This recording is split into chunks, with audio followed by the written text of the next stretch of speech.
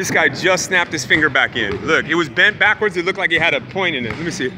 Look at that. Oh, he's good already. Hey, flex it though. Flex it.